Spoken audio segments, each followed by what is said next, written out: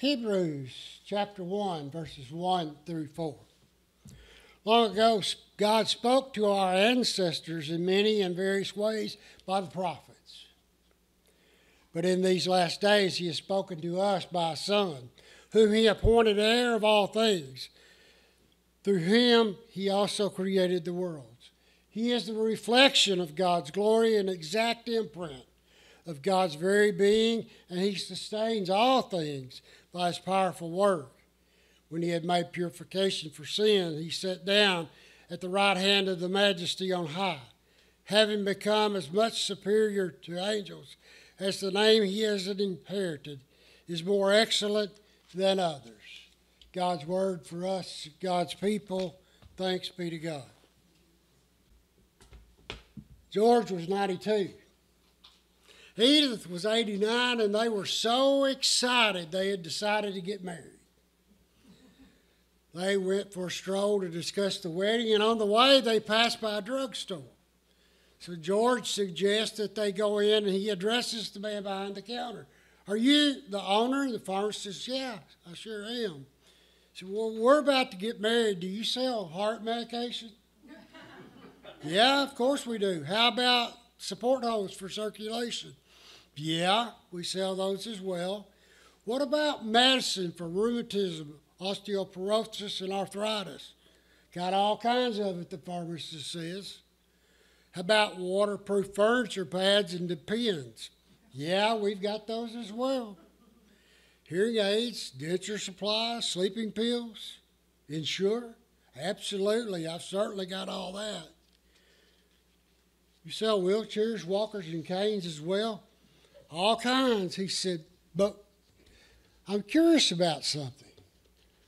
What are all these questions for? George smiles and he replies to the pharmacist, We'd like to use your store for our bridal registry.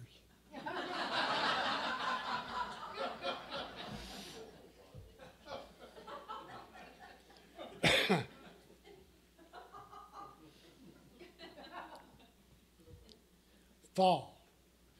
It's the time when the church begins to get refocused after the summer, you might say. It's also a time that means that it's when the church begins to worry about the church's ministries. Recruiting leaders for the work of the church and planning for the year ahead. That means that in many congregations, even as lively and lovable as this one can be, there's still that stressful, challenging time of the year.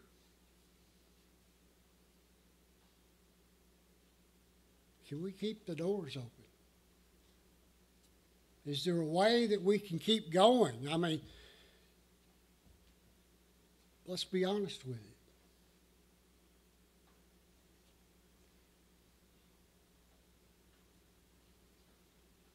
As we begin to move toward winter. And we are confronted by the things around us. We find ourselves in a situation maybe perhaps similar to that to the letter of Hebrews. We don't know what their problems were. This letter was meant to extract, but, but this letter was meant to express and address those problems. If we read between the lines, we know that we are listening in a letter that has become to a church that has become discouraged. Christ had promised to come soon, but now as the church moved into its second century, where was Jesus? Had he forgotten his promise that he would return? He said he'd bring back a kingdom on earth, but here in this church, this Hebrew church, that's been prowling along for decades, and their situation doesn't feel like they have a lot of success at times.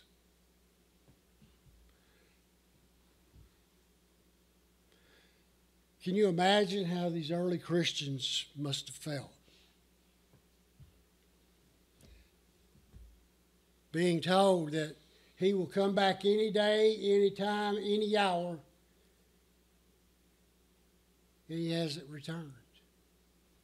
They're despondent, maybe without hope.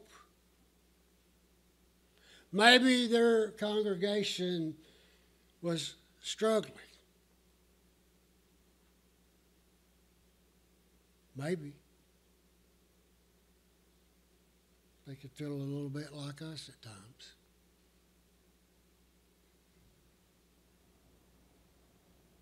As a pastor and as former pastor, excuse me, I'm retired now, but anyway.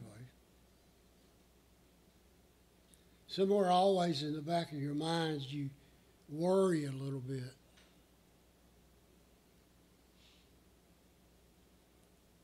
What if this or that happens?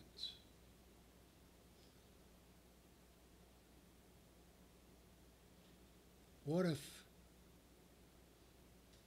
you get sick? What if something drastic happens to the congregation?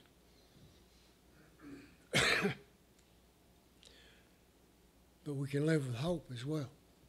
Because we know that in this letter to Hebrews, he attempt Paul, the writer, attempts to give these early Christians believers hope. The writer tells them, he doesn't tell them to work harder or to give more or to make their believing deeper.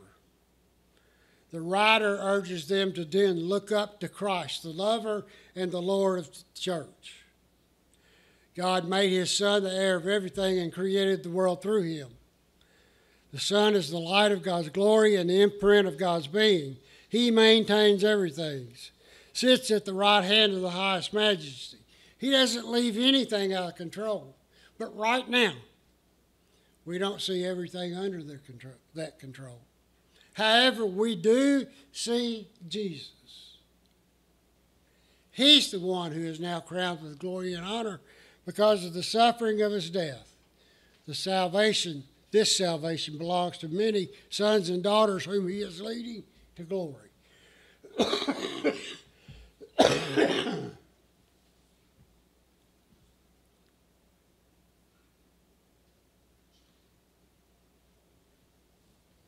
Maybe, I don't know.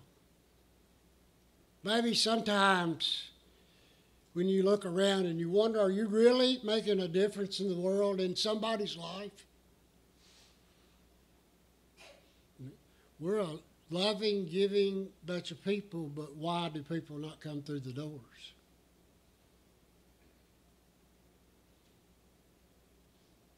Is it us? Is it something we don't do that should bring more, or something we do that should bring more?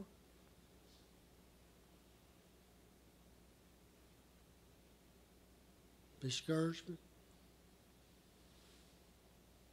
at times. But this letter to the church, the Hebrews, is meant to strengthen and give a commitment to these early Christians by telling them that Christ not only loves them, but Christ is actually working and ruling in the world today. And I know for a fact Christ is working in this place, in your lives, in the lives of those that you touch outside of the walls of this place. When the world was made, Christ Son of God created the world. Christ is nothing less than the light of God's glory, the imprint, shall we say, of God's being.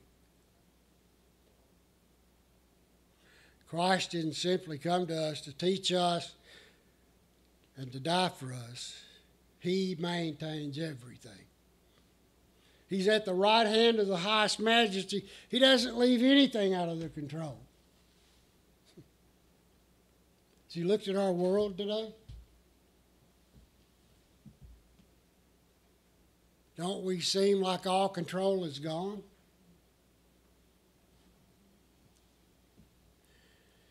In the midst of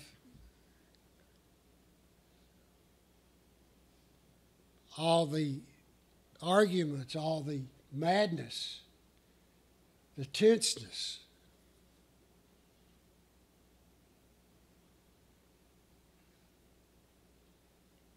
In the midst of destruction in North Carolina.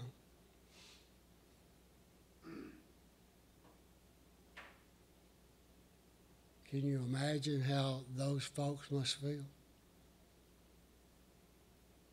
Once they had a nice home and children and family, and now, in the matter of a few minutes, it's gone.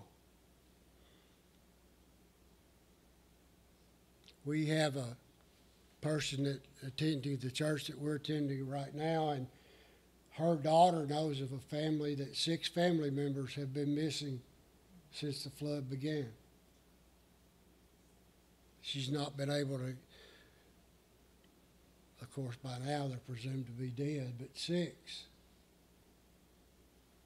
whom she had just talked to on the telephone that day.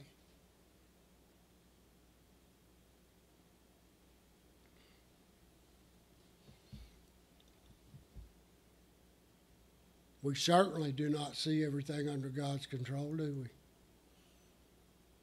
There's setbacks, there's disappointments, there's opposition.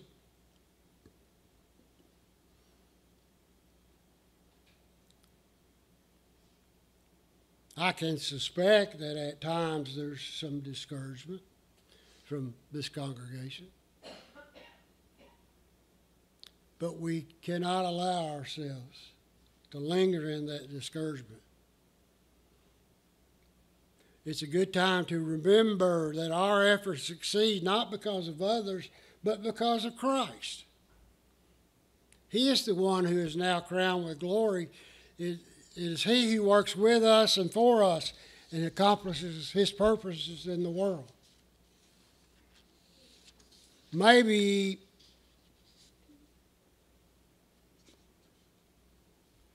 we get to the point where we can't really get excited anymore.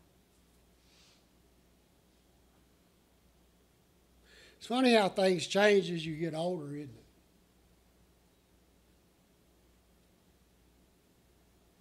I knew when I began to get up in the morning and get the newspaper and turn immediately to the obituaries that I'd started to get older. I didn't look for the news or the sports pages of the day. I looked to see if one of my friends might have gone on to glory.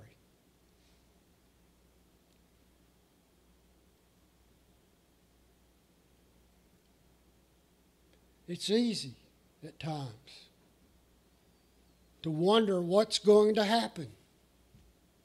What will happen to us? What will happen to the world? It's certainly easy to get discouraged all the hate that's going on these days, all the things that seem so contrary to everything we believe. But we have to have faith in remembering that Jesus is alive in the world today. He's alive in the hearts and in the minds of this church. The Holy Spirit moves you out of this place to go and touch other lives which you may never know the consequences. Through your missions work, you're touching people's lives in ways that you can't imagine. Be nice if you could see that sometimes, but usually not. You see, God only calls us to be faithful. Used to have a sign that hung in my office that said, God did not call me to be successful, only faithful. And that's what God calls each of us to do to be faithful, to live our lives as though we know.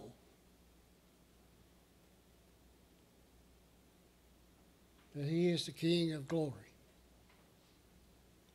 To know that He lived, died, and, re- and was resurrected so that His Spirit could live among us and in us. That what we do, or maybe I should say that what you do, makes a difference in the lives of people in the world. in this close community and also in other places in the world. Don't ever wonder if you're making a difference because you are. You're making a difference in the lives of people every day. Will you see it? No.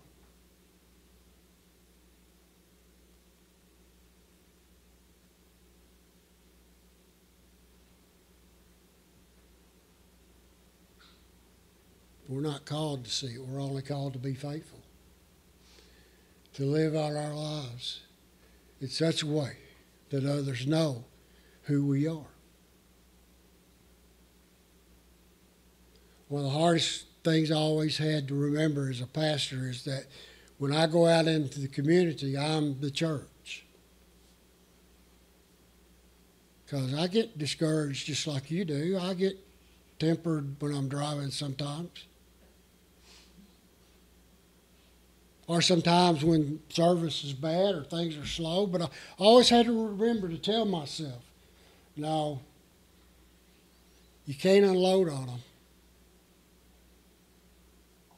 You're the church, but so are you. Not just me.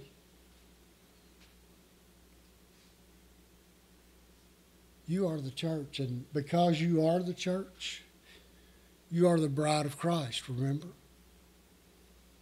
He's with you and amongst you, touching you and loving you and changing the world.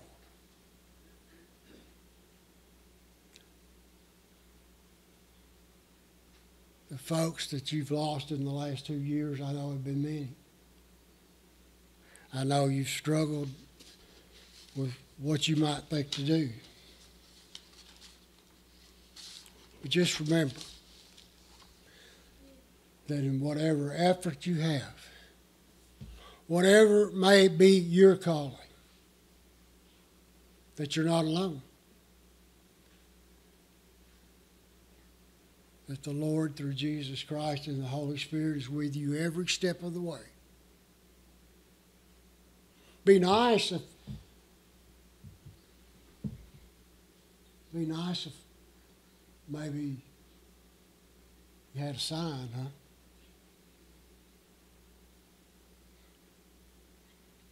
Don't we all think? Who of us in the church this morning hasn't maybe thought at one time or another, come on, God, give them a sign. Show them. I'm telling myself, maybe you're not like me, but maybe there's been a time where you thought, come on, Jesus, just zap them once.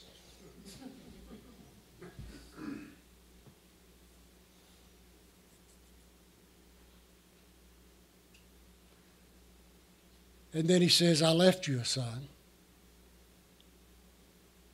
Look at the cross. That's your sign for hope, for understanding, for loving, and for caring. The cross.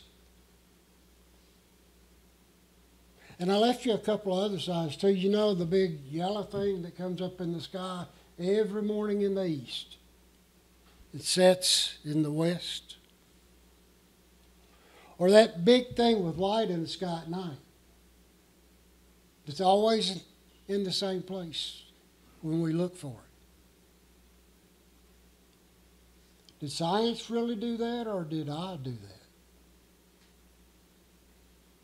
But the biggest sign he left you is this your brothers and sisters in Christ.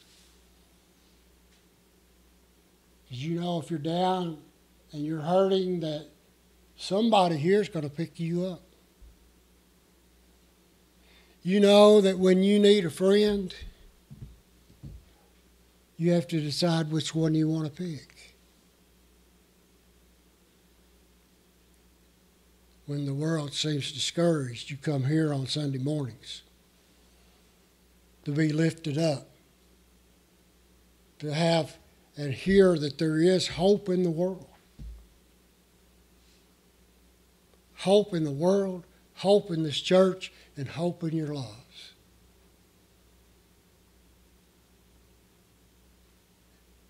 In the name of the one who was, who is, and who is yet to come, Christ our Lord. Amen.